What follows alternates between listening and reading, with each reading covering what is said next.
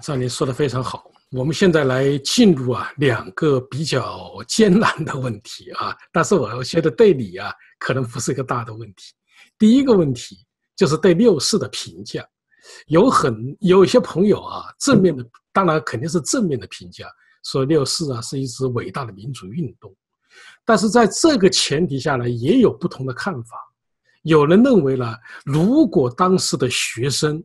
能够啊理性。或者说能够把握策略，就是说啊，见好就收。比如说不去绝食，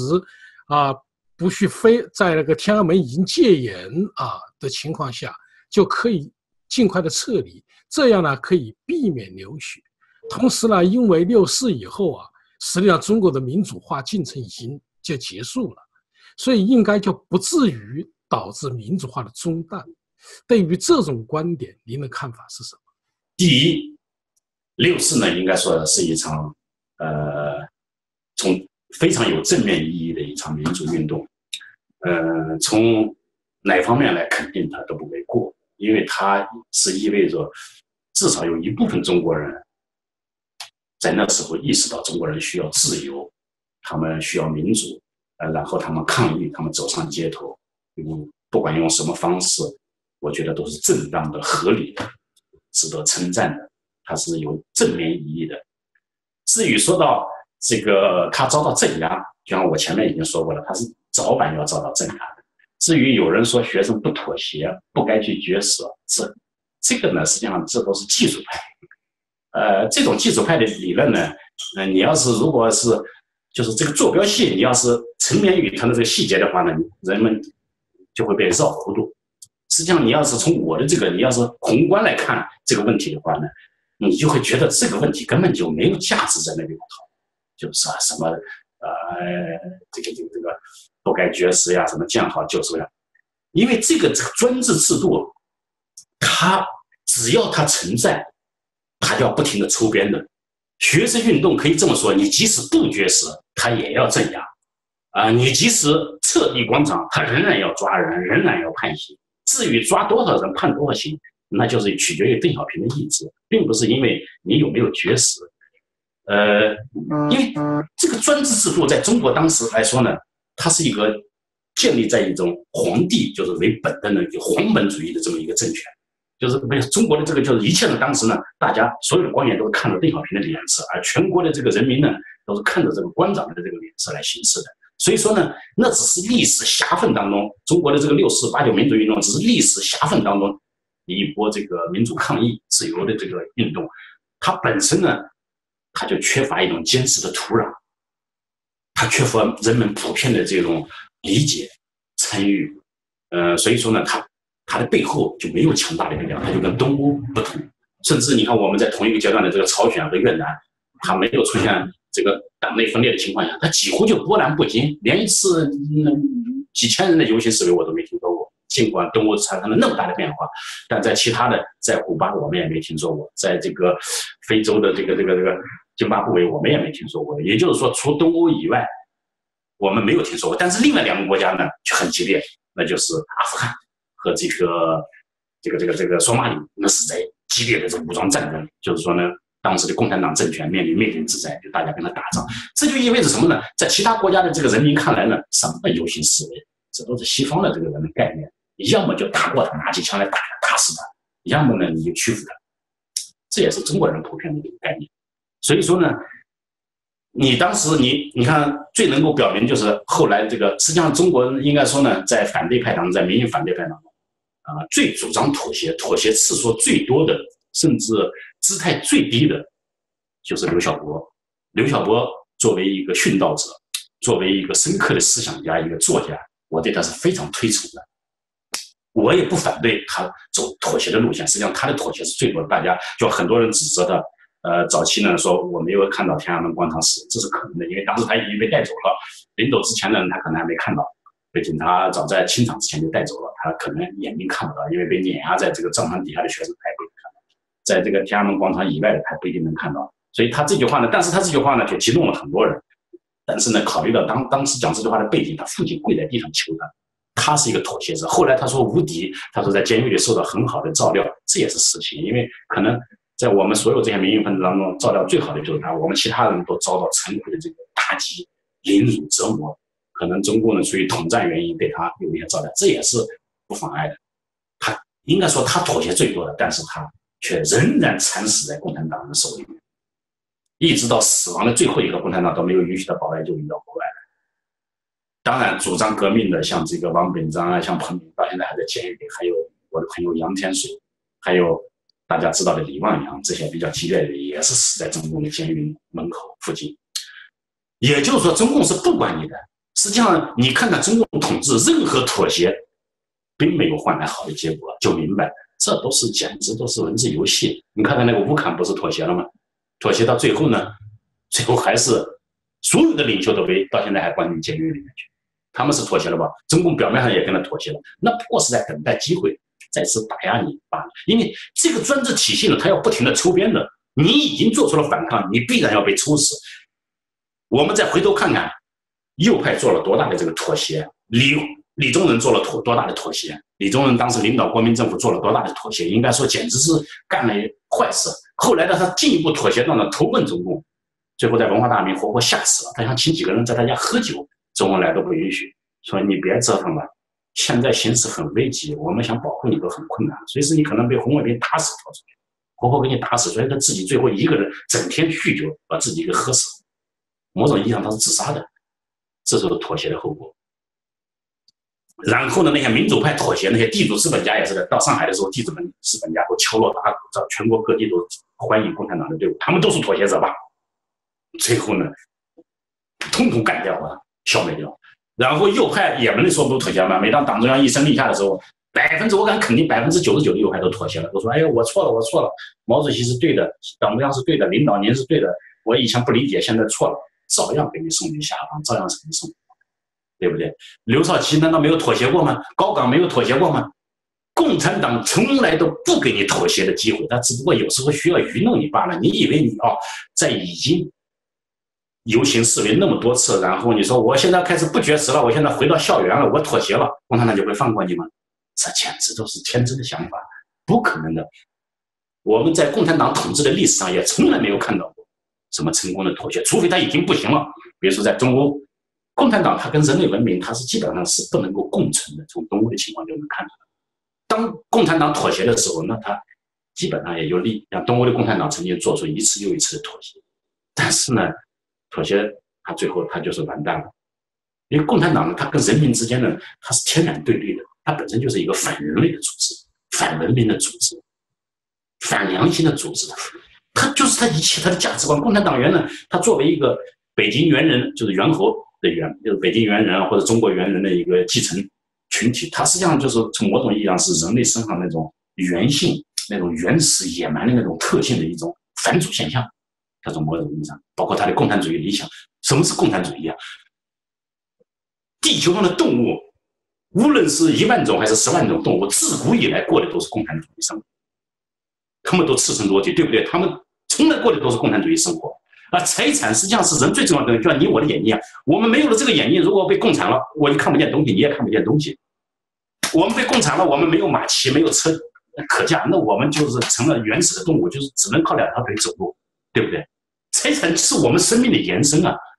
你胯下的马也好，你戴的眼镜，你穿的衣服可以给你御寒，手表可以知道你时间，手机可以跟你世界联络，这些财产都是神圣不可侵犯的，它都是人权的一部分。当你一个人被剥夺了这些东西以后呢，你跟一头牲口有什么区别？所以，共产主义运动实际上就是一种牲口主义运动，就是人类回到这种野兽时代、回到动物时代的一场运动。它就是使人，他这种理想呢，就是大家都不负责任。啊，就是梦想着回到原始动物时代。原始动物时代真正的有平等吗？你看看那个非洲的那个狮子老虎群，比人类生活要残暴多了。一个狮子群里只有一头狮子，其他的雄狮子要么被咬死，要么被撵走，对不对？他不允许这个群里面有第二头成年的这个雄狮子跟他竞争。他一个人一头雄狮都要拥有对这个几十头雄狮的这个交配权利。人类社会现在没有，除了中国以前皇帝有有几万个美女在宫里面，他可以任意的这个凌辱以外，人类历史上都没有这么大规模的这个公女群。都没有这么多的这个美女，是三宫六院，经常宫女都是十万，以十万计，我说，而且每年都在明年挑选最美的美女贡献给中国皇帝。从遗传学上，他们也都是聪明的，因为女孩子如果她聪明的话，她就会更加美丽，才能就是说她才美丽。她如果是很笨的话，她就会傻傻的。那时候宦官太监也不会挑选他们，或者说各地官员也不会挑选他们，让他去伺候皇帝。所以中国最好的这个最优秀的男子都被这个四书五经什么八股文给摧毁了，然后最好的这个女孩子都在皇宫里像牲口一样被关押到死。这是一个残忍的社会，这是一个逆向淘汰的社会。他总是把最美好的东西给毁掉。然后留下一些次品，就像共产党一样，他把最美好的人通通给你杀掉，关进监狱里给你弄死。最有自由基因的、最呃最有头脑的、最聪明的、最优秀的这个这个这个群体呢，都给你用刀子给你砍掉、切割掉，最后剩下的都是贫下中农，都像牲口一样愚昧的家伙，能够听他指挥，能够唯命是从，他要的就是这些。所以呢，共产主义运动它本质上就是一种一种生口主义运动、动物主义运动，回到原始地球的一种。反主运动，刚才听了你这个评价，还是我还是第一次听到啊。就是说，共产主义运动也也确实有道理啊。也就是说，什么？当我们把一切都奉献出去的时候，其实动物世界也就是这样，是吧？有一条水流啊，大家一起吃啊，一个群体嘛。但是最终它是动物啊，所以我就在这里啊，我就想，我们再探讨一个问题啊。引申一个问题出来，你说共产主义这个是一个牲口的这种主义，但是为什么在人类的历史进程中，其实有很多伟大的人物，他们都梦想啊，我们叫乌托邦嘛，其实都在想有一个美好的世界，甚至还有在南美曾经，我不知道是傅立叶还是。还是啊什么啊欧文，他们曾经进行过试炼呢，进行过进行共产主义试，当然也失败而告终。呃，在苏联成立了以后啊，有大批的美国学者到苏联去顶礼膜拜呀，认为人类可能就是就像福山写的，可能是不是就终结了？呃，为什么会有这种现象呢？因为这是都是优秀的人，受过良好的教育，有严密的逻辑，他们为什么会？啊，对共产主义那么痴迷，您的看法是什么呢？呃，我认为这是他们的愚蠢。呃，人类呢，你不管他有多少知识，有的是大学教授，有的甚至很富裕，他在这个政治理念上面，他有时候都会很很愚蠢。呃，这种愚蠢呢，你不仅那时候有，你就现在这个我们常常所称的白左里面最激进的一部分，他仍然梦想着这个地球上可以就是说，呃。有一种更好的一种模式，呃，这个有一种呢，就是所谓共产主义天堂的那种模式，呃，大家就可以每个人呢都可以不用再操心很多问题。这实际上呢，讲白了呢，我认为是人类想偷懒，这就这部分人想偷懒，他总以为呢，有了进入了这种模式以后呢，啊，你每个人就可以完全按照自己的愿望来生活。实际上这都是不现实的。上帝造出的这个人类，他有他特。特定的性质，就是说呢，呃，人类永远也摆脱不了这种呃贪婪、这种自私、这种就是说糊涂、疯狂、愚昧这种潜在的品质。宗教也好，良好的制度也好，只能最大限度的遏制它。因为我以前呢，在共产党学说最盛行的时候呢，我小时候四岁呢，我的祖父受过很好的教育，他凭记忆就写下了《三字经》啊，《百家姓》啊。我四岁的启蒙，启蒙的时候呢，经常呢有一句话叫“人之初，性本善，性相近，习相远”。呃，尤其他这个人之初，性本善，我后来问过很多人，大家都认为中，就是中国人普遍都认为人之初性本善。也就是说，中国文明呢，实际上它始终停留在一个认为人之初性本善。啊，实际上在基督教以前呢，人们普遍就认识到人之初是性本恶的。之所以有宗教，就是为了抵消这种恶。我后来就专门观察小孩子。有一段时间，正好我住在一个小学，我发现这个小学生基本上都是在没有监管的时候都像野兽一样。这个只有在监管的情况下，或者在受到威胁的情况下，他才会守规矩。尤其是婴儿，我后来发现，每个婴儿天生都是强盗，见到美好的东西他就伸手去抓，伸手去抢，他从来不顾及什么，从来不考虑什么。他们就是共产主义者。共产主义者实际上所梦想的这个世界，人人所这个各取所需的世界，这就是婴儿的世界。他什么东西他想取，他想去抓，实际上这是永远不可能的，因为这个世界上美好的东西都是相对的，永远都是有限的，它只能给符合游戏规则的人才能够获得。你不能说你看见什么美好，哎，我看见这个啊，比如说叫你，比如说在中国共产在共产主义看来啊，那范冰冰这样的女人任何喜欢都可以各取所需，那她岂不要被折磨死掉？没有意义的，这都是很荒诞的。共产主义它本身就建立在一种无端的假设的这个基础之上，它的各取所需本身就是很荒诞的，就是人类的梦想。就人类本身它有一些愚蠢的基因。我以前我在监狱里读到的最有意思的两本书呢，一个是呃叫做《人类文明史》，是美国一个这个这个历史学家叫什么来着？我忘了，叫叫叫他写过一本《人类文明史》，他当过历史学家协会主席、历史学会主席，叫麦克唐纳，好像是啊。我另外看的一本书呢，就叫做《人类愚蠢、野蛮与疯狂简史》，它就描绘了人类的一系列的这个曾经历史上的各种各样的愚蠢行为，比如早期英国人曾经沉湎于股票，法国人也经历过这个过程，荷兰人呢甚至沉湎于呢把一颗郁金香种子都卖到十万块钱、十万英镑的这个高价，就疯狂到这种程度。实际上，一个这个这个这个这个郁金香种子根本就不值钱。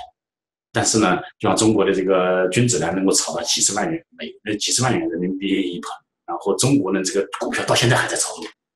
就是他这个疯狂和人类的这个疯狂的愚昧，有时候呢他是所以呢没有这个宗教教导以后呢，每个人都有可能走向疯狂，而且呢他在小群体的刺激下呢，就相互激励下，他能够走向极端，就是说人类具有这种天性，所以说呢，我认为那些人呢都是出于愚蠢。就包括像孔子所讲的什么大同世界，啊，这个欧洲人还有这个世界各地人